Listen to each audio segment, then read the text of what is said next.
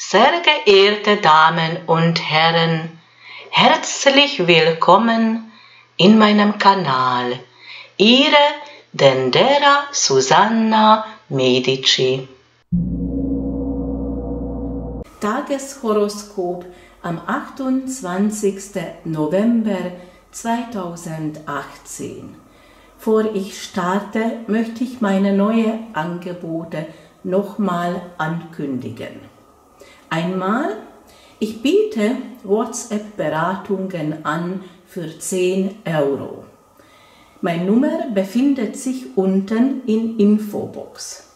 Ich biete auch Handlesen an als WhatsApp-Beratung, auch für 10 Euro. Dazu benötige ich zwei Bilder.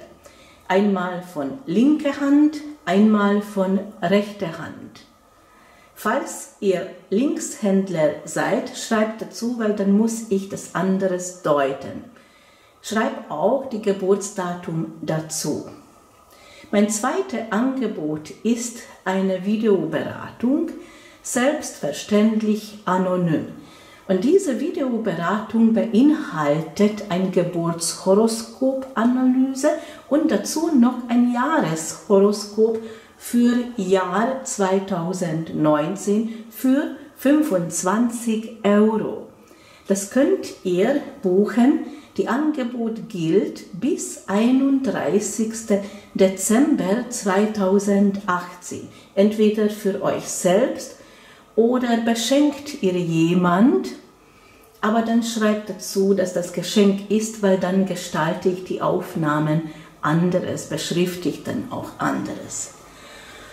Ihr dürft auch wählen, wünscht ihr das nach westlichen Astrologie, wünscht ihr das nach indischen Astrologie oder wünscht ihr das nach chinesischen Astrologie.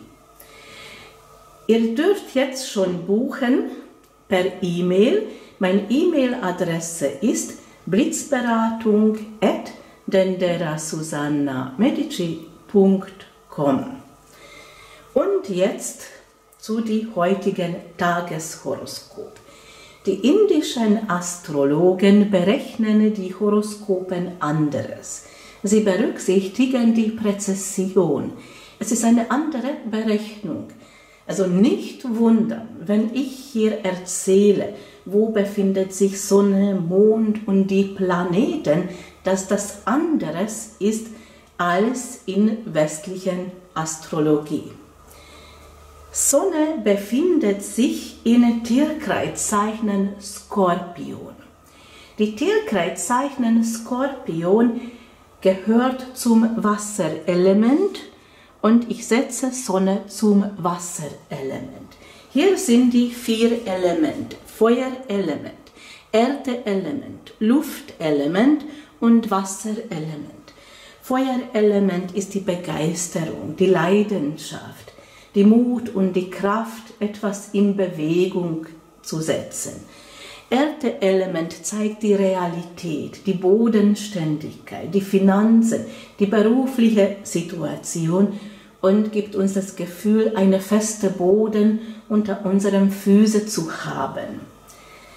Die Luftelement befreit uns von allem, was uns bedrückt, dass wir aufatmen können und damit kommen wir zum Leichtigkeit. Die Wasserelement zeigt unserem Unbewussten, unserem Träumen, unserem Sehnsüchte, unserem Wünsche und auch unserem Gefühlen. Und hier im Wasserelement befindet sich die Sonne, also in Tierkreiszeichen Skorpion. Das bedeutet, bei Sonnenaufgang steigt die Tierkreiszeichen Skorpion in Osthorizont auf. Und das zieht die ganze Zug. Ich vergleiche das mit einem Zug. Das ist die Lokomotive und zieht alles hoch. Und das vertritt dieser Monat die Tierkreiszeichen Skorpion, zeigt die Richtung, führt. In diesem Monat führt die Skorpion. Dann kommt nächster Monat die Schütze. Mond befindet sich in Tierkreiszeichen Krebs. Die Tierkreiszeichen Krebs gehört auch zum Wasserelement und Mond fühlt sich sehr wohl im Krebs, weil Mond herrscht über die Tierkreiszeichen Krebs. Und heute nehmen wir den Tag ganz feinfühlig mit Gefühlen wahr. Sonne, Mond, beide im Wasserelement, Mond sogar im Krebs, das ist ein guter Tag zum Empfängnis. Mars befindet sich in der Tierkreiszeichen Wassermann und die Tierkreiszeichen Wassermann gehört zum Luftelement. Ich setze Mars zum Luftelement. Merkur ist rückläufig. Diese Rückläufigkeit bedeutet, dass wir nicht trauen, etwas zu sagen. Wir verschlucken gerade die Worte. Bedeutet aber auch, dass etwas bremst, was die Handlungen betrifft, die Verträge betrifft, die Terminen betrifft. Diese Rückläufigkeit bedeutet karmischen Themen, weil bei Merkur Energie auch altes Wissen aber nicht nur das, sondern auch ein Hinweis, jemand kehrt zurück von Vergangenheit und wir erhalten eine Nachricht. Merkur befindet sich in Tierkreiszeichen Skorpion. Ich setze Merkur zum Wasserelement. Jupiter befindet sich auch in Tierkreiszeichen Skorpion. Ich setze Jupiter zum Wasserelement direkt zu Merkur, weil sie beiden stehen in einer Konjunktion. Das heißt, Merkur, Jupiter wirken zusammen. Bei Jupiter handelt es sich oft um eine rechtliche Lage. Und bei dieser Rückläufigkeit von Merkur kann bedeuten, es handelt sich um alten Themen kann auch bedeuten, dass diese rechtliche Lage sehr zäh ist und geht nichts voran. Jupiter vermehrt etwas, also das kann auch Terminen, Verträgen bedeuten, Investitionen, etwas zu vergrößern, etwas zu vermehren. Und die Chancen, Möglichkeiten sind da. Das ist die Jupiter-Energie. Aber bei dieser Rückläufigkeit von Merkur sollen wir betrachten, handelt es sich um neue Verträge, handelt es sich um neue Kontakte, dann zeigt diese Rückläufigkeit von Merkur zum Verlust. Wenn aber diese Verträge oder diese Kontakte alt sind oder jemand kehrt zurück, eine, eine Erneuerung da ist, das heißt, alten Themen, alten Kontakten wieder ein Neuanfang zum Starten, dann zeigt Jupiter dabei Glück und die Rückläufigkeit von Merkur zeigt Vergangenheit, alten Kontakten. Dann kann man ganz ruhig diese Termine wahrnehmen, diese Verträge auch unterschreiben. Venus befindet sich in Tierkreiszeichen Waage und die Tierkreiszeichen Waage gehört zum Luftelement. Ich setze Venus zum Luftelement. Mit Saturn ändert sich die persönlichen Planeten und Saturn erdet. Deswegen setze ich Saturn hier in die Mitte. Diese persönlichen Planeten beeinflussen unseren Alltag. Die Wasserelement ist sehr betont, vor allem die beiden Lichter Sonne und Mond wirken auch von Wasserelement und das heißt, die Gefühle sind sehr wichtig. Die Gefühle in Ausdruck zu bringen oder nach Gefühl handeln, die Intuition vertrauen. Die beiden Liebesplaneten Mars und Venus befinden sich in Luftelement und das wirkt in die Liebe. Wir brauchen die Luft in die Liebe, ein gewisser Freiraum und Leichtigkeit oder etwas mit spielerischer Art und Weise betrachten. Die beiden Elemente sind betont. Wir brauchen aber die Ausgleich, weil so kommen wir im inneren Gleichgewicht. Wir sollen ausgleichen und das ist die Feuerelement und die Erdeelement. All das, was uns begeistert, aktiv zu sein, das in Bewegung setzen, umsetzen im Tat, in Realität, dann haben wir ein gutes Gefühl, die Lebensfreude, die Begeisterung und auch dieses Gefühl Sicherheit, Stabilität, es klappt auch und dann haben wir die Balance. Mond befindet sich in Tierkreiszeichen Krebs in ein Lebensbereich, was Ausland betrifft.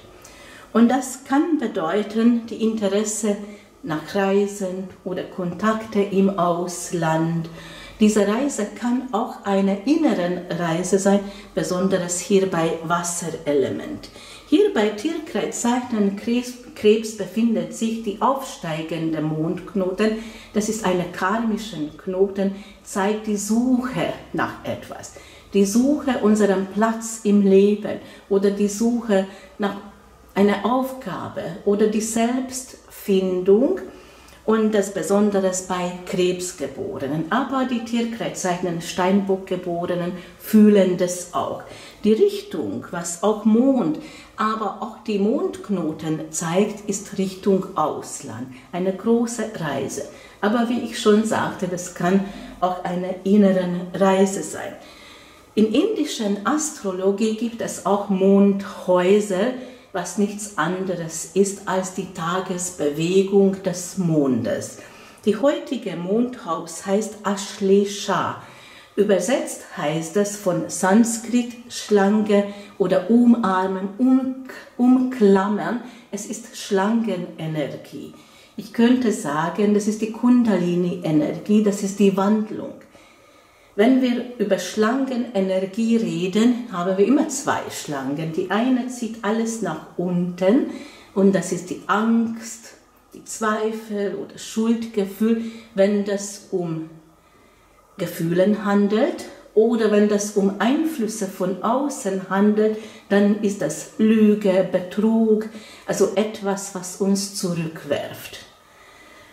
Und diese Energie und diese ein, erstes Mal diese Energie, was in uns auch steckt, Angst und Zweifel und Schuldgefühl erstmal loslassen, von dieser Schlangenenergie befreien. Wenn diese Schlangenenergie von außen kommt als Lüge oder Betrug, das auch sehen und erkennen und Abstand gewinnen, aus dem Weg zu gehen, dann befinden wir in einer Wandlung. Und wenn wir das erkennen, dann wirkt die zweite Schlange und das ist wunderbar, weil das ist die Heilung. Diese Energie ist Heilenergie und die Energie steigt alles nach oben. Das ist wie eine Art Befreiung. Dann kommt die Begeisterung, die Lebensfreude, die Liebe, die Dankbarkeit und wir können auch befreit sein. Das ist die Heilung, das ist die Befreiung und das zeigt hier dieser Mondhaus im heutigen Tag. Außer diesem persönlichen Planeten haben wir auch die äußeren Planeten Uranus, Neptun und Pluto. Uranus ist rückläufig, zeigt auch Vergangenheit an, ist in Tierkreiszeichen wieder, bringt Umbrüche, Veränderungen zurzeit in beruflichen Situationen. Neptun ist in Tierkreiszeichen Wassermann und es gehört zum Luftelement. Ich setze Neptun zum Luftelement und Pluto zeigt uns die inneren Kraft und die Konzentration, diese Energie, was die Leben erhalten bleibt, die Wandlung. Und diese Macht besitzt Pluto und wirkt in Tierkreiszeichen Schütze. Uranus hat einen Einfluss auf beiden Mondknoten. Uranus aktiviert die absteigende Mondknoten. Das ist die alte Karma in Tierkreiszeichen Steinbock und auch die aufsteigende Mondknote oder Drachenkopf in Tierkreiszeichen Krebs. Das ist die neue Richtung, die Suche nach unserem Platz, nach unserer Aufgabe oder die Selbstfindung befindet sich in Tierkreiszeichen Krebs Richtung Ausland. Saturn belehrt uns Und das Thema ist Werte, Selbstwertgefühl, äh, auch dieses Werte zu verlangen von anderen, diese Wertschätzung, aber auch die Finanzen. Energetisch hängt es sogar zusammen. Was noch wichtig ist, genau, Venus, die Liebesplanet, steht im Schattenseite gerade und das heißt eine geheime Liebe oder die Liebe ist sehr geheimnisvoll, karmische Begegnungen und für die Damen bedeutet das auch befreit zu sein, die Weiblichkeit zeigen, in Ausdruck zu bringen, raus aus der Schattenseite und mehr ins Licht sichtbar machen. Und das ist auch eine Wandlung, auch eine Veränderung. Und das war mein heutiger Tageshoroskop. Ich bedanke mich für das Zuschauen. Mein Name ist Dendera Susanna Medici.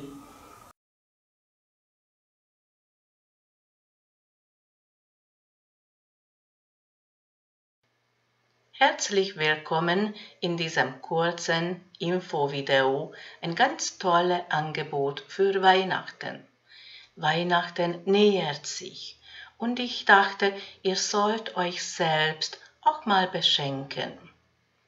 Und dazu ist dieses Weihnachtsangebot. Ich bitte euch, schreibt mir ein E-Mail, beschreibt euren Lebenssituation, auch was wollt ihr verändern verbessern, ob das beruflich ist oder finanziell oder betrifft das die Liebe, Partnerschaft, all das, was euch gerade beschäftigt, auch eure Wünsche und Sehnsüchte, aber auch euren Zweifel und Ängste. Dann schreibt bitte dazu euren Geburtsdatum mit Uhrzeit, wenn das möglich ist, weil das brauchen wir für die Ritual dann werde ich etwas zusammenstellen für euch persönlich und es ist maßgeschnitten, passt auf euren Persönlichkeit, passt auf euren Lebenssituation und hilft und unterstützt euch energetisch. Dieser Ritualset besteht aus ein Ritualkerze. Dann kommt dazu ein Ritualöl, wunderbarer Duft und noch die Düfte, die Räucherstäbe und einen passenden Halbedelstein. Die Besonderheit an diesem Angebot ist, dass ihr bekommt noch zwei Steine dazu, zwei Steine aus dem Meer, was ich selber sammle. Eine von diesen beiden Sternen soll euch innerlich stärken. Das ist ein Geschenk von mir aus Dankbarkeit und die zweite Stein wird mit Energie aufgeladen, die weiblichen Energie des Meeres. Und mein persönlichen Energie ist auch weiblich. Und dann kommt die Sonnenkraft dazu und die schamanischen Trommel. Das ist die männliche Energie und bildet sich eine Einheit. Und ich male noch dazu ein Runensymbol auf diesem Stein passend auf euren Situation, passend auf euren Persönlichkeit. Und diesem Runenstein dient als Amulett. Das schützt euch, hilft, dass alles in Bewegung kommt und bringt euch Glück. Diesem besonderen Runenstein als Amulett könnt ihr selbstverständlich auch separat bestellen. Der Preis beträgt 10 Euro. Wenn Interesse besteht, dieses Weihnachtsangebot zu nutzen, für euch persönlich oder wollt ihr jemand beschenken, dann schreibt mir bitte ein E-Mail. Meine E-Mail-Adresse ist blitzberatung@denderasusanna.medici.com. Ich bedanke mich voraus für die Interesse. Ich bedanke mich für das Zuschauen. Mein Name ist Dendera Susanna Medici.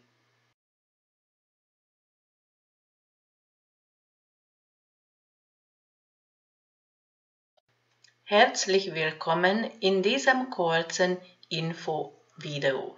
Ich habe eine Aufnahme gemacht über Gesundheit und habe ich die Frage gestellt, was sagt mir diese Krankheit aus? Und genau das möchte ich euch erklären. Ich bin fest davon überzeugt, dass jede Krankheit eine psychische Ursache hat und jede Krankheit flüstert uns etwas. Wir sollen etwas verändern, verbessern unserem Leben. Und genau diese Sprache, was unserem Körper zeigt, sollen wir auch verstehen. Diese Aufnahme, diese Video werde ich nicht veröffentlichen. Aber wenn ihr wirklich Interesse daran habt, dann schreibt mir bitte ein E-Mail und ihr bekommt den Link zu diesem Video über Gesundheit. Was will diese Krankheit mir sagen? Meine E-Mail-Adresse ist blitzberatung.denderasusanna.medici.com. Das hat mit Beratungen nichts zu tun. Diese Video ist kostenlos und fühlt euch bitte zu nichts verpflichtet. Ich bedanke mich voraus für die Interesse. Ich bedanke mich für das Anschauen. Mein Name ist Dendera Susanna Medici.